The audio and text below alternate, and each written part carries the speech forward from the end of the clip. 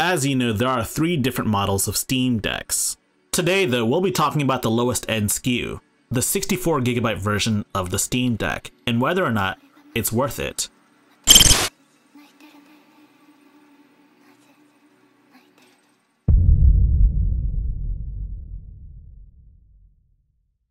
Is the 64GB version enough? Let's talk about just using the 64GB version as is. Many people just want to buy the cheapest Steam Deck and supplement it with a 1TB SD card. Given how well games perform on the SD card, it's a pretty good thought, right? Well, there's a really good reason for that. Your shader cache and compatibility data is stored on your SSD. Actually, it's not even an SSD in your 64GB model, it's an eMMC drive which of course is noticeably slower than your average SSD. But that's besides the point. The point is, your eMMC drive is going to be filled to the brim as you download more games onto your SD card. And of course, as with any OS, once you fill your boot drive to the brim with data, your operating system practically becomes unusable. And with 64 gigabytes, you don't have a whole lot of space. You definitely shouldn't download any games onto your internal drive. And even so, managing all of that shader cache and compatibility data, it can be maddening at times, especially when games don't automatically delete the shader cache when you uninstall them. Yeah, that's right. Of course, where Valve falls short, the community provides. There's this really neat utility by Scott called the Steam Deck Shader Cache Killer.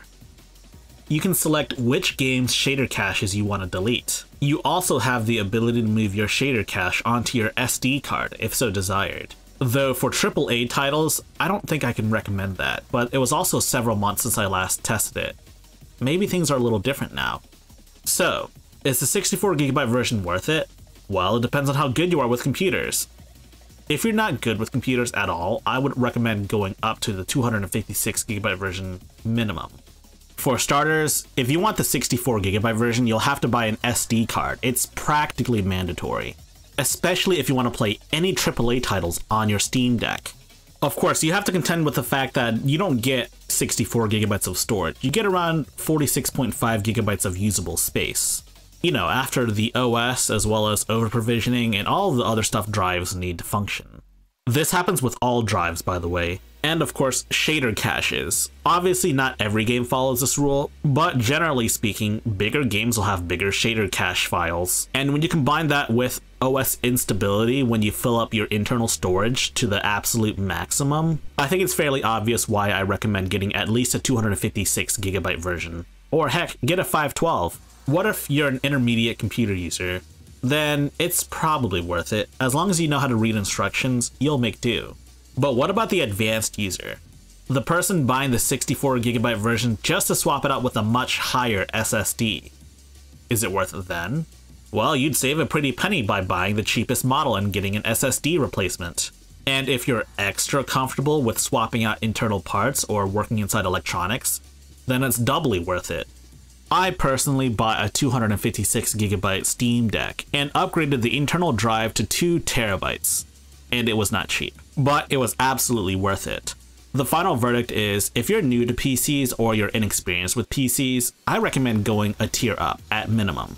And if you're comfortable with working inside of electronics, you can totally open up the Steam Deck, swap out the 64GB drive for a much higher capacity SSD, you'll save a couple of bucks too. But do keep in mind that if you undergo this process and you mess up the Steam Deck somehow by messing around inside of it, you'll definitely void your warranty. So general rule of thumb, don't fuck up. If you're gonna fuck up, just don't.